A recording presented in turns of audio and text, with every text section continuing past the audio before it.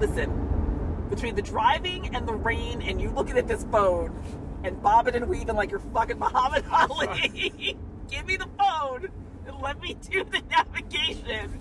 You're gonna kill us. We, we just got here. What does this say? What's the sign say? Uh, this sign says 133 deaths on Montana highways in 2019. Drive responsibly. I'm a good driver. 133. I am a good driver. This is not lost. Each episode, a friend and I go to a place, see the sights, and try to get invited to dinner. I'm Brendan Francis Newnam, the driver, Feels like you're having a stroke. and that's my friend Danielle Henderson, the backseat driver. Sleeping in the back of an Uber. I drive. I have a car. This episode, we're in Bozeman, Montana.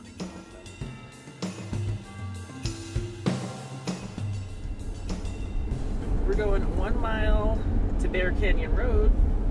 Yeah, but it's not. Where does it say? How long does it say? We've just left the airport in our SUV rental, and we're bobbing and weaving our way into This town. stuff though, because Bozeman is surrounded by six mountain ranges and is capped by Montana's famous Big Do Sky. you, do you think you're a more mountain or ocean person? no, Mountain. I live constantly on a coast, but I I just don't take advantage of the beach. Then turn left onto New Ventures Drive.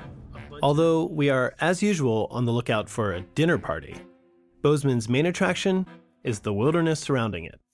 And to make that wilderness a little less wild, you need the right gear. Okay. Here we go. Our first stop Big Boys Toys. I don't know if it's Big Boys' toys or Big Boys and their toys, but we're here.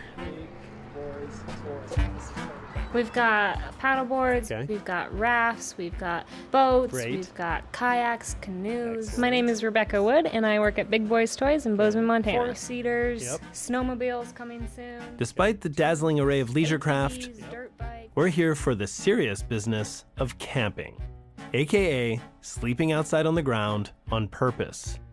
Not my idea of a good time. You see, I come from a long line of great indoorsmen. But if Danielle and I were going to run with the big boys of Montana, we'd need to start from the ground up. So, officially, a two-person tent, you could fit two people, but it's not gonna be comfortable. Yeah, we're friends, but the secret to our friendship is we live 3,000 miles away from each other. and then what's in our cooking set?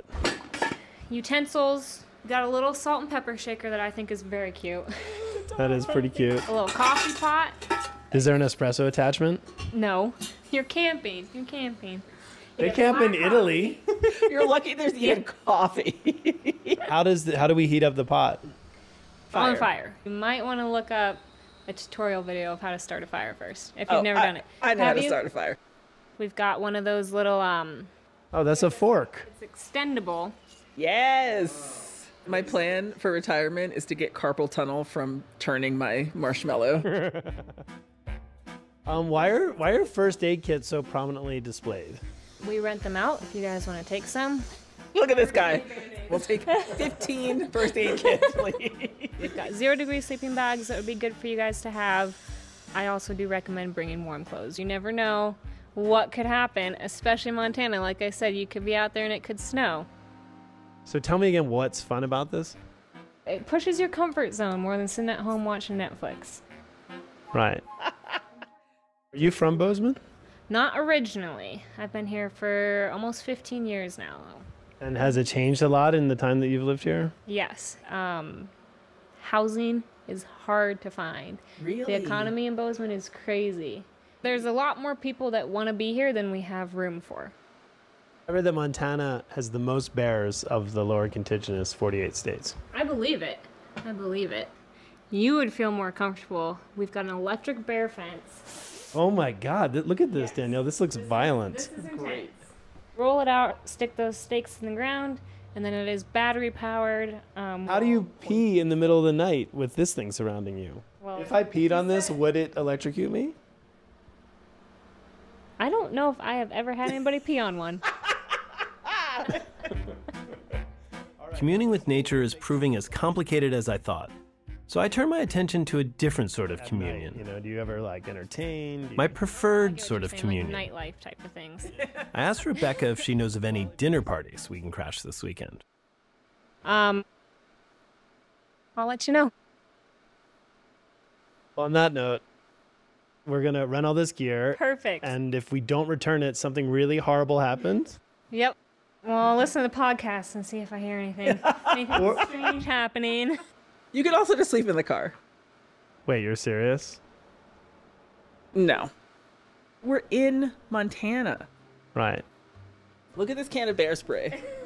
this is like riot gear bear spray. I think it, I'm gonna have to work my way up to the camping part of our little journey. We can work you up. there. I'll, I'll work on you over dinner. All right, let's see how it goes.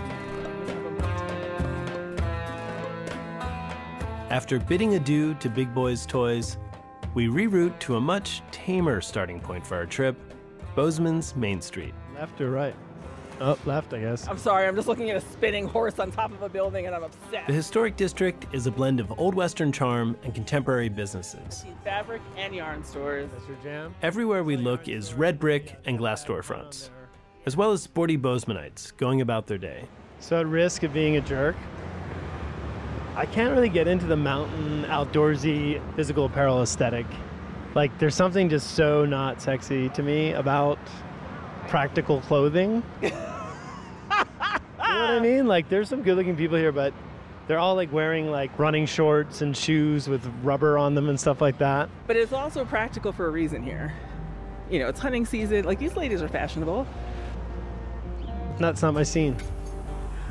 You don't need my arms around you if you have a Patagonia that goes down to negative 10. oh, it's up here.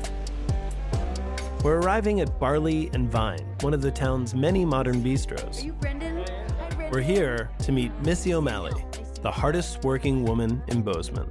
Betty bought her about some butter, but she said this butter's bitter. If I I'm a DJ. I'm a CBS morning news anchor. I'm a snowboard coach, an auctioneer. Bitter, better, made her bitter. Betty bought her, bought a bit of better butter, and that's about it. That's about Yeah, it. That's about it. That's about it. Missy quickly reads us in on Bozeman. So you've got Subarus, mom's wearing Lululemon. You're wondering if any person in this town actually works because everybody's at a yoga class all day long. 4Runners, skiing, biking, fishing, hiking, dogs, dogs, dogs, dogs, dogs. Lots of drinking, breweries on every corner, coffee shops are on every corner. Outdoorsy, smiling hippies. Lots of hippies. White people with dreadlocks. White people with dreadlocks, what's up with that? White people with dreadlocks, but it's white people. White generally. people, white people, absolutely. Thank God for the university, so we have a little bit of culture, but for the most part, white people in the snow. Yep. My name's Thomas. I'll be taking care of you. Has anyone been in other than a Missy to the restaurant? Never. It's our first time. We're gonna do wine. I'm gonna do those delicious uh, little pink bubbles. All right. Yes, breath? yes, thank right, you, guys. thank you. Bozeman is seen as a very snotty city. People call us Bose Angeles. People call us Bose Angeles, Montucky. Surrounding Bozeman is rather red. A lot of rural, a lot of farm areas. Um, seven people a day move to Bozeman, which, when you think about a town of roughly 40,000 a few years ago, it's, it's, it's quite the number. It's one of those things, though, at the same time, Bozeman's growth, if it weren't for people that are coming in and restoring these old kind of rundown hotels and making a cool new restaurant hip again, we wouldn't have kind of this this jive that we've got going on. I grew up in a small town in upstate New York. One stoplight, farms everywhere. Over my lifetime alone, I've seen it turn into like a suburb of New York.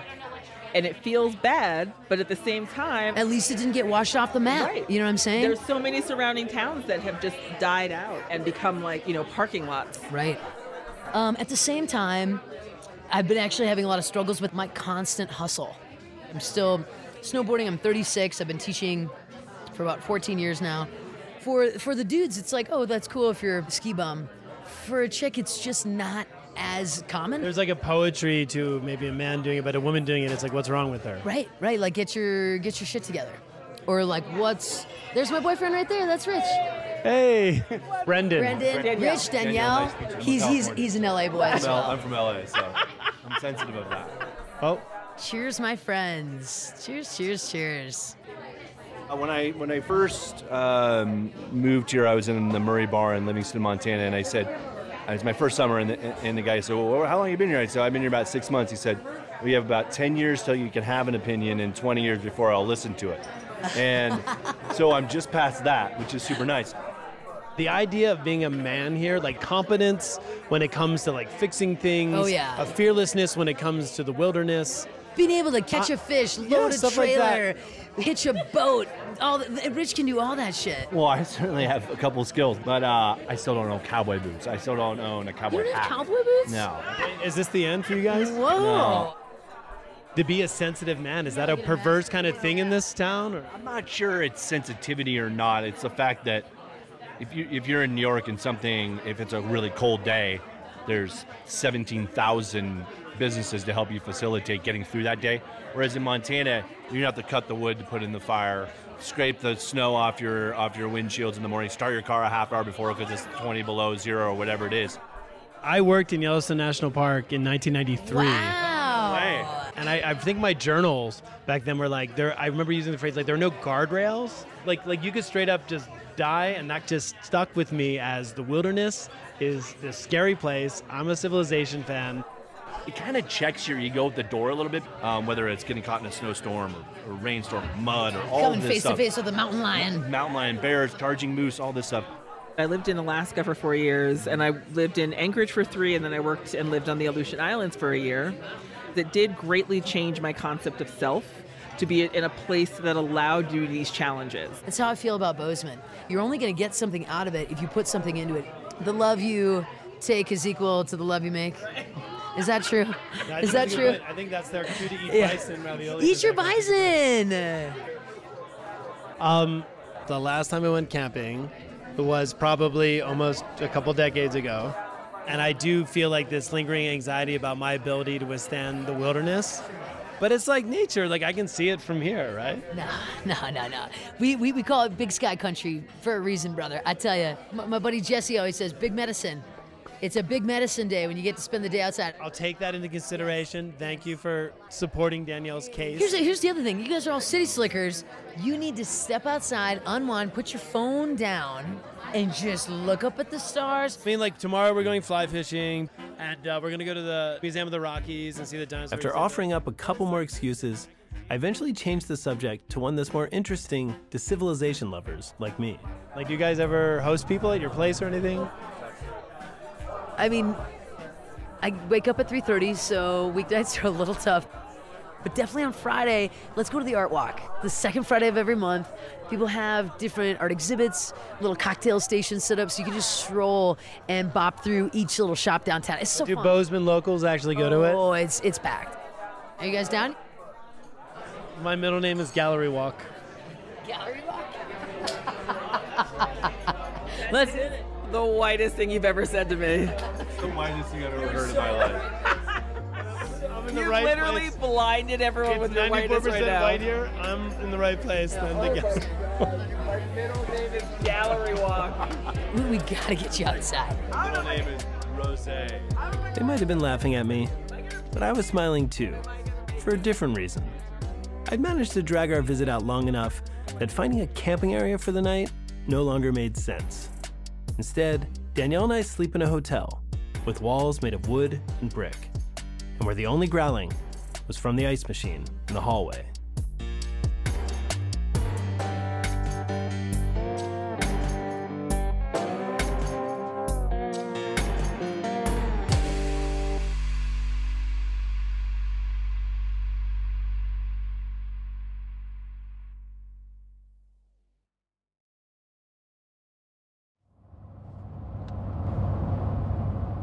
Just passed the Gallatin back there.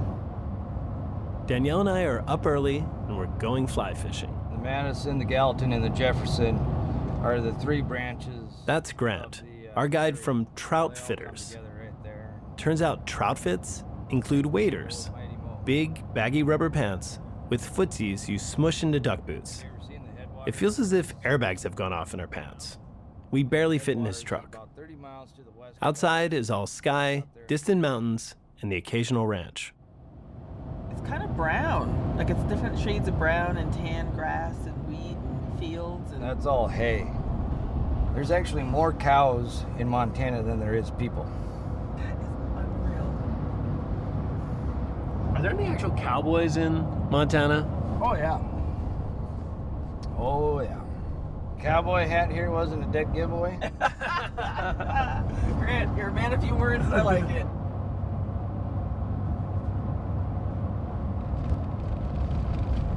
This is where we're gonna fish. Yep. Preferred spot on this river? Oh, I got a few. How come I have a feeling that you have your own personal private spots? There really isn't any secrets on this river.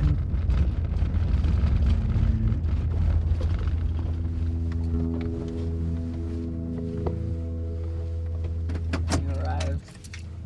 Are there ticks out here? Yeah.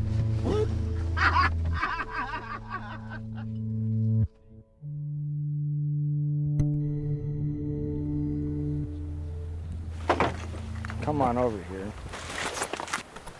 Line goes right into your trigger finger here. Mm-hmm. Grant gives us the crash course on fly fishing alongside a river as wide as a four lane And highway. then how much line are we? Should we have? With our waders on, we waddle along the bank in slow motion, like topless astronauts holding rods. The, the whole thing of fly fishing, though, is that you're trying to imitate a fly mm-hmm. on the top of the water to trick a trout. Right. So it's a lift, thumb. There we go. Ah. Did you ever play baseball, Brandon? Yeah. Throwing it right to the first baseman, right to the chest, right? Okay.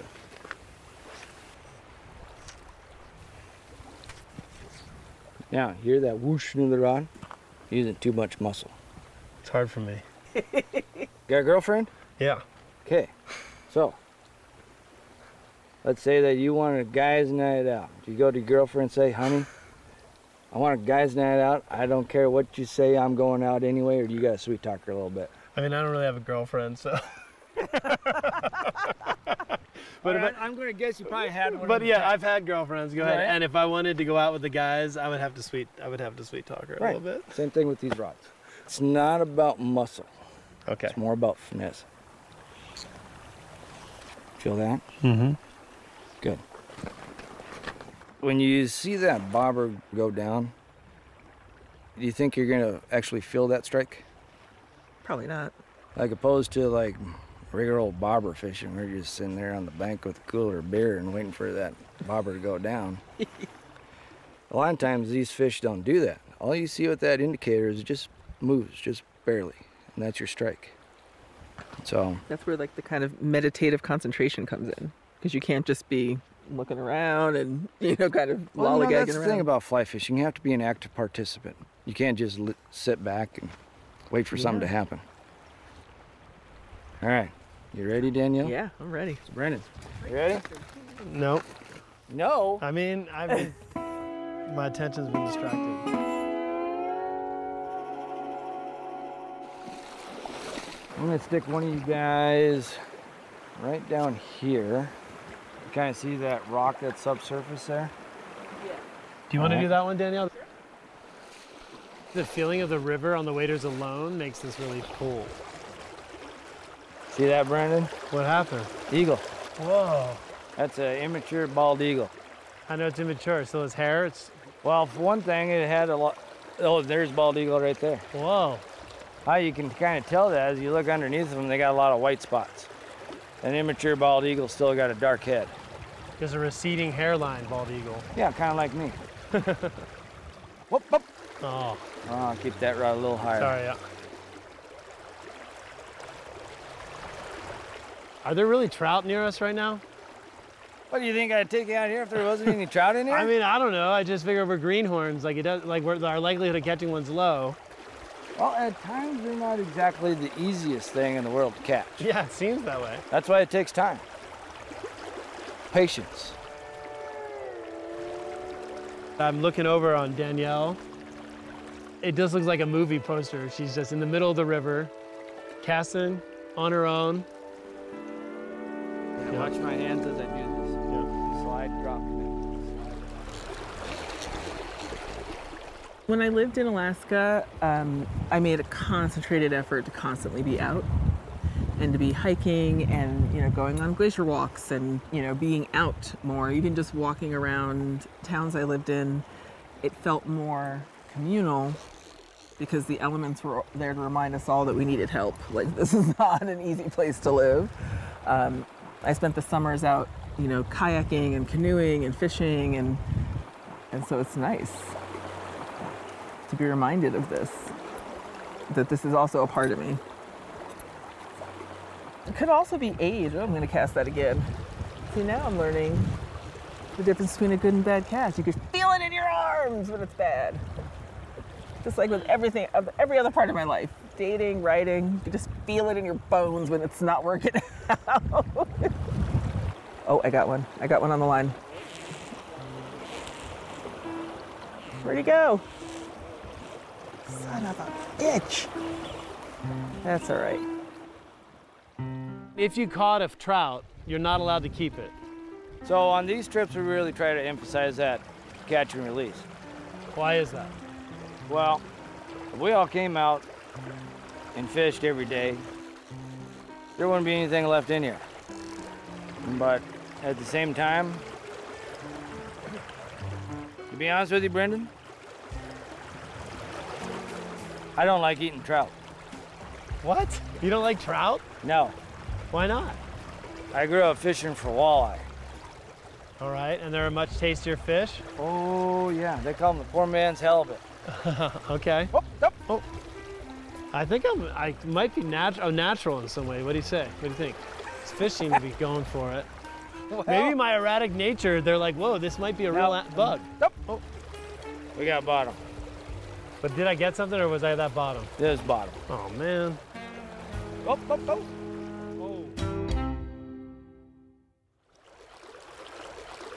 I don't think enough people spend enough time. And actually, I won't even say that. I'm gonna back it up. I don't think I spend enough time realizing how complicit I am in my own unhappiness because I'm not taking advantage of stuff like this. Um, you know, I stay at home a lot and I work, and so I'm complicit in my own stagnation in that way.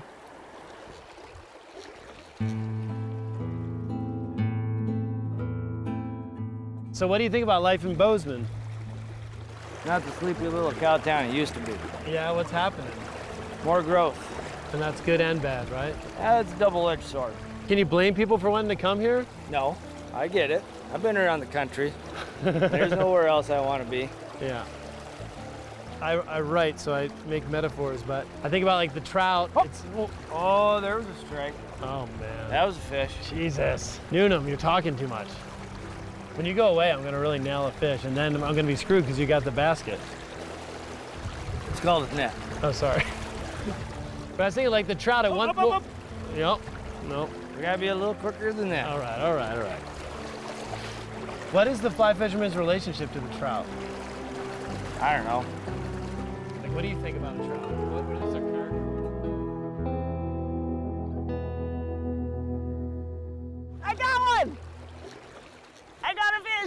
he wants to run, let him run. Ah! You got that head shake? Oh. Check it out! We got it. Oh, it's so nice. I caught a fish. I caught a fish. Caught a fish. Okay, go back in the water. Yes. You go back home. I'll catch you again. Come on down here. What do you mean go back down? I caught a fish. I caught a fishy. I think it's unfair and wrong that I didn't catch a fish. You gave her a better fly. Brendan, you have plenty of opportunities right there. I think that you put me near a weed bed. When Grant drops us back in Bozeman, I ask him about a dinner party, but it's clear he has other fish to fry. So we eat a quick dinner at Burger Barn and return to our lodgings. In our living room, Danielle smiles as she knits. At first, I think she's gloating about the trout she caught, but I'm projecting.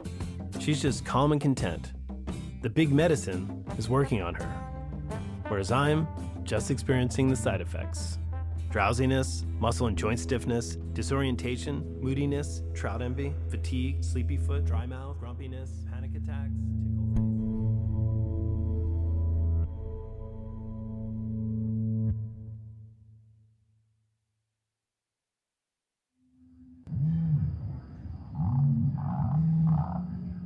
It's a new day in Bozeman, And those sounds are not coming from my stomach. We're walking through the Siebel Dinosaur Complex at the Museum of the Rockies. Montana is particularly rich in dinosaur fossils. In fact, Bozeman is where Jack Horner, the inspiration for the paleontologist in Jurassic Park, lived and worked. In the Hall of Horns and Teeth, we take in the museum's famous reconstructed T Rex skeleton. Its remains were found near here. Turns out, even the tyrant Lizard King couldn't make it out of the wilds of Montana alive. New innovations, adaptations led to new branches on the tree of life. An important adaptation for some early microorganisms What made you want to put an arrow in something somehow? Um, I don't want to put an arrow in something necessarily. I just think We're driving over to Extreme Performance Archery, where Danielle has signed herself up for a lesson. But now the way the world is, I'm maybe subconsciously racking up some apocalypse skills. I wouldn't mind going down with the blast. Like, I'm not strong enough to survive an apocalypse. like, so if I go with the initial boom, that'll probably be much better for me and whoever's in my life. Oh, Extreme Performance Archery. All right, good luck. All right, see you in a bit. Nice to meet you. Who's gonna do the shooting? You? Yeah. My name is Jim Smith, and we're at Extreme Performance Archery, and we're going to give this young lady a lesson in archery. The very first thing that we would do was I'd have to check your eye dominance to know if you're going to shoot a right-handed or a left-handed bow. So I'm going to back up some, and I want you to go like with arms length out and look at my hat. So now, as I approach you, don't move. That's your left hand. That means you're left eye dominant. And could have been a left-hander this whole time. Who do I call about this? You know, being black and growing up in an all-white town, I feel like I was forced into a lot of stuff. but the fact that I could have been left-handed is the limit. We also want to make sure our hunting equipment is quiet. So you don't need the kind of whistling through the air. Critters seem to have an allergic reaction to arrows, so they're quite jumpy because, you know, especially like white-tailed deer and things because stuff's been chasing them for the last million years or so. So I need to keep my knuckle behind there. Now anchor, pull, pull, pull. Okay. Just let her go. Oh my goodness. Ain't that fun? Nice shot. You're a fast learner. Ooh, bullseye. Bullseye. That is. What up? That's hilarious.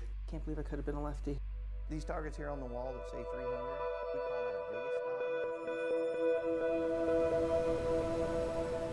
remnants of a different time um, are definitely still here. We still have like archaeological sites and teepee rings, and and it's just a sign of different times. It makes me think about my mortality. While Danielle's busy learning about how to silently murder mammals, I'm on a steep hiking trail at Hyalite Reservoir, trying to keep up with my guide. My name is Nisoya 20 stands. My English name is Francesca Pine Rodriguez. I do have bear spray. Why do you keep saying that? Francesca is a local activist. For many years, it was her job to increase enrollment of Native Americans at Montana State University. I came across her in a photo exhibit I saw online.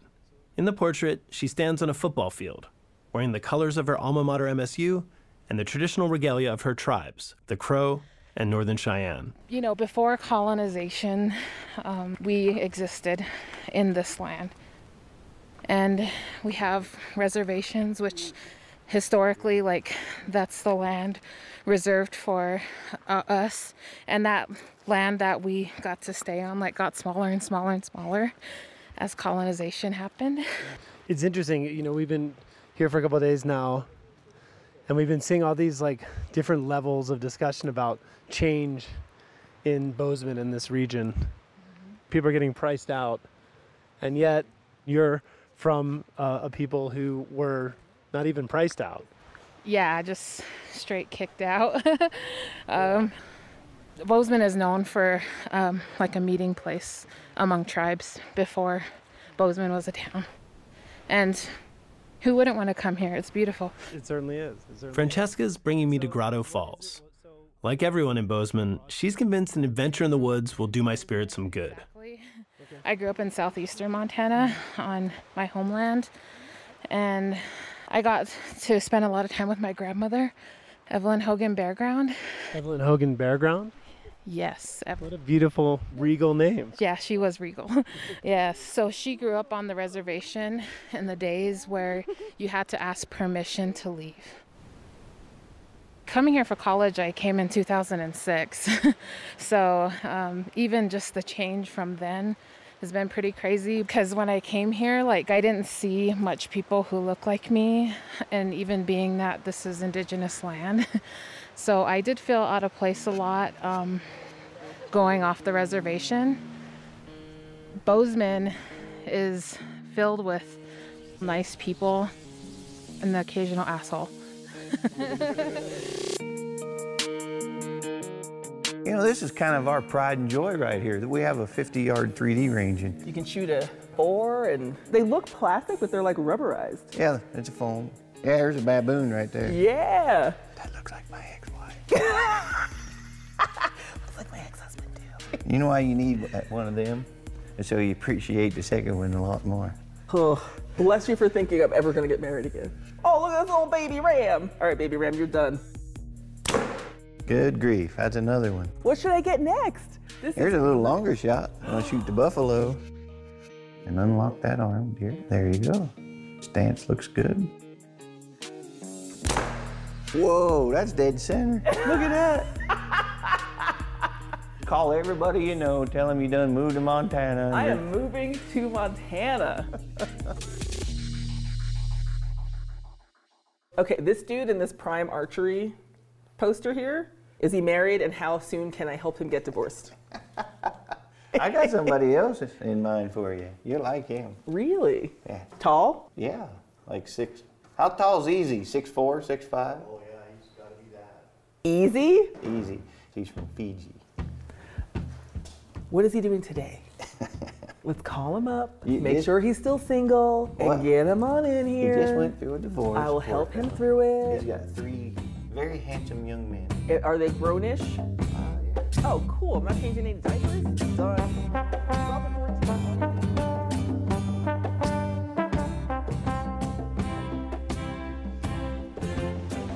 Okay, be careful. We are looking at a gorgeous waterfall. The water is just falling on the rocks, and it's not just falling, it's thriving. And then, you know, you got this kind of little cave like thing on the side of it. That's kind of cool looking. Is that where bears live? There's one. I'm joking.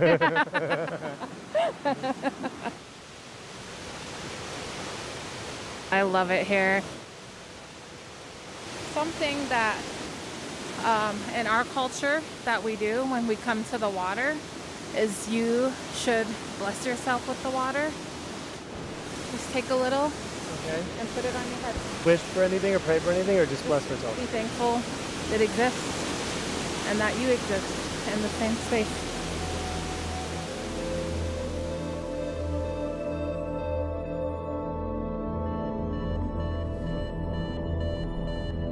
As I drive back to town, it's the golden hour. The view from my windshield looks like a screensaver green trees, blue sky, big clouds. Big medicine. There's a warm feeling in my chest, like I've just woken up fully rested.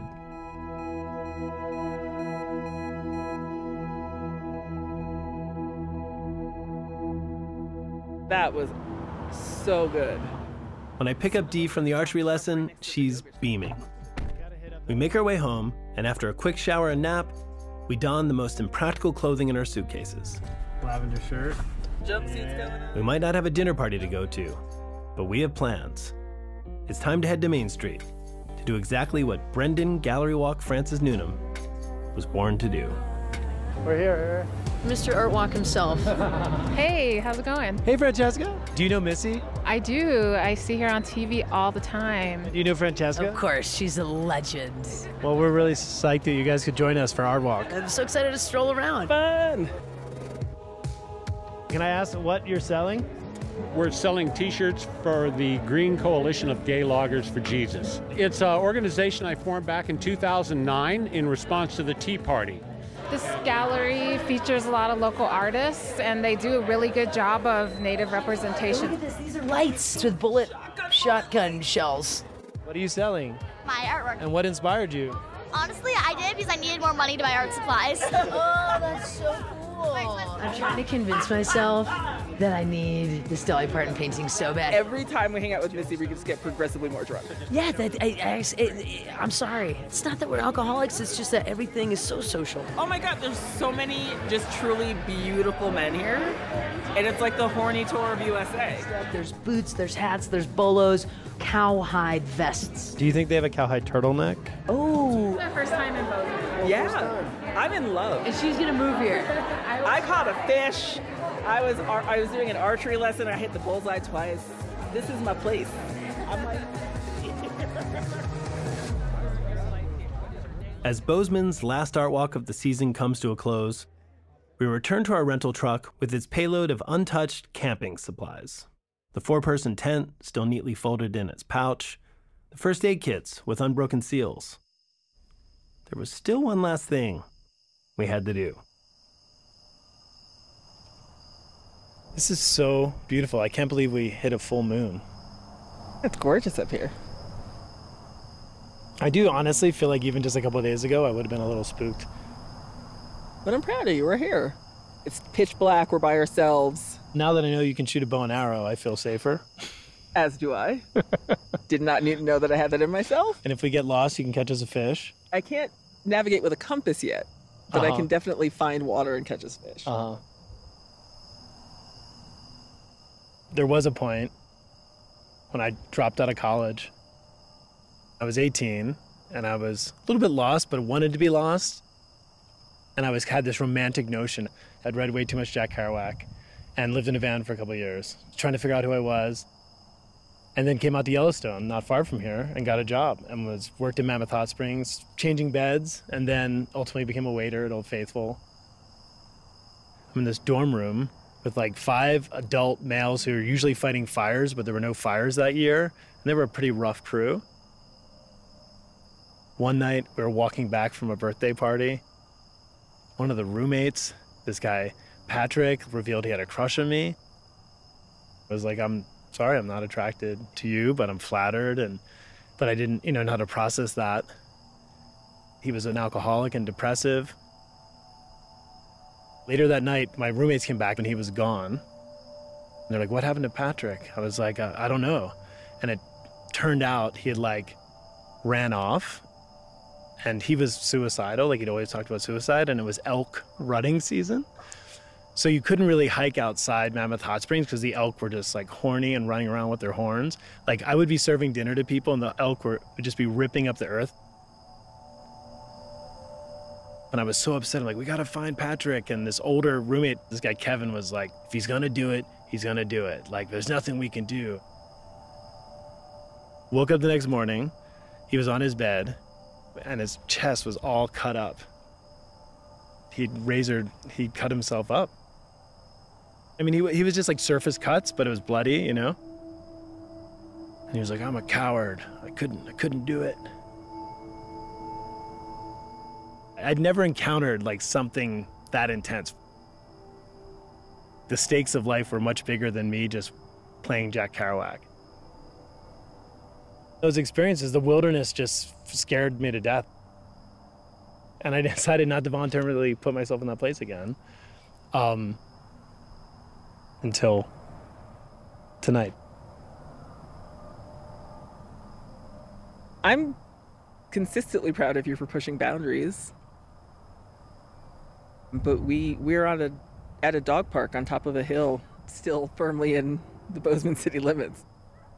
I mean, I, the closest road is like at least a quarter mile away from here. Hi, buddy. Hi. Damn it. Who are you? Oh, you're so cute. Hi. Oh my goodness. What did we do to their other lucky two dogs? Hi. Oh my goodness, two. But where's your buddy? Where's your buddy? There he is. Um, all right. I feel like we should return this stuff to Big Boys Toys. Maybe in another 20 years, I'll come back to Bozeman and actually go camping. I will be full Grizzly Adams wilderness by then, so you could just come visit me. Are you meeting Easy later? Oh, Jim got to come through with that phone number. Never count on another man to hook you up. They always forget the details.